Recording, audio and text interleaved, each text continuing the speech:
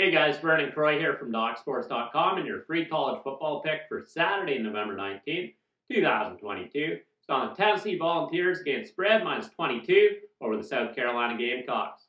Now, obviously, Tennessee is hands down the superior team here Saturday. I expect them to take care of business on the road.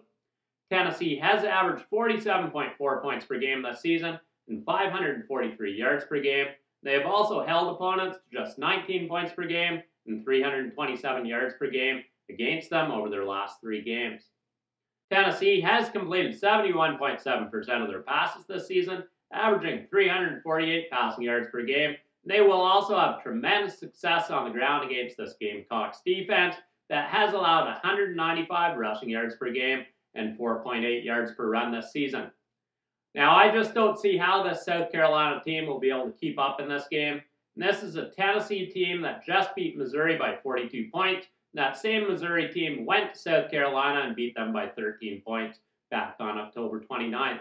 So once again, play the Tennessee Volunteers against spread minus 22 over the South Carolina Gamecocks here Saturday. And if you click that link below, you can get $60 worth of my premium sports picks, 100% free from DocSports.com. Thanks a lot for your time. I definitely appreciate it. In winning, Vernon Croy.